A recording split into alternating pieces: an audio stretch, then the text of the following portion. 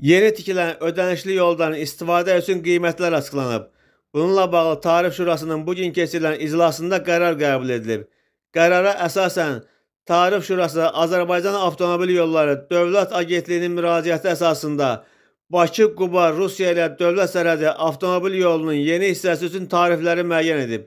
Beləliklə, Hacı Zeynalabdin Tağıyev qəsəbəsindən başlayaraq tikilən və 129 kilometr uzunluğunda olan yeni avtomobil yolu üçün gediş tarifləri əlavə dəyər vergisi ilə birgə minik avtomobilləri və kütləsi 3,5 tona qədər olan yük avtonəqliyyat vasitələri üzrə 1 kilometr üçün 9,100 qəpik, bütün yol üçün isə 12 manat müəyyən edilib.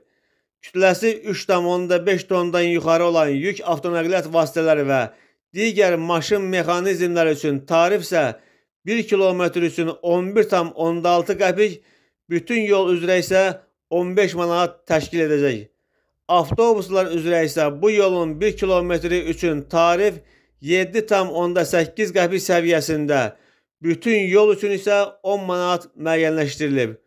Qoşqulu və yarım qoşqulu nəqliyyat vasitələri, o cümlədən 3-4 oxlu və ya tırların ödənişli yoldan istifadəsi üçün qiymət 1 kilometrə 19,4 qəpikdir. Bütün yol üçün isə 25 manat təşkil edəcək. Gediş üçün ödənişin məbləği avtomobil yolunun texniki dərəcəsi, aidiyyəti qurumların apardığı monitorinqlər əsasında nəqliyyat vasitəsinin qət etdiyi məsafə, çəkisi və ay ərzində gedişlərin sayı nəzərə alınmaqla müəyyənləşdirilib. Hazırda yolda son tamamlanma işləri aparılır. Qeyd edək ki, Bu yol ənənəvi yoldan qısadır və sürət həddi daha yüksəkdir. Məsafənin qısa və sürət həddinin yüksək olması isə istifadəçilərə vaxtla yanaşı yanacağa da qənaət etməyə imkan verəcəkdir.